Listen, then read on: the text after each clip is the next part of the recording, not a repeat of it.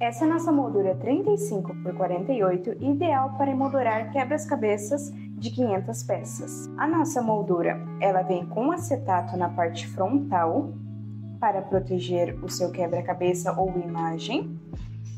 Ela vem com fundo MDF 3 milímetros, vem com flex, que é para segurar o fundo MDF e também tem fácil remoção para você colocar seu quebra-cabeça ou imagem.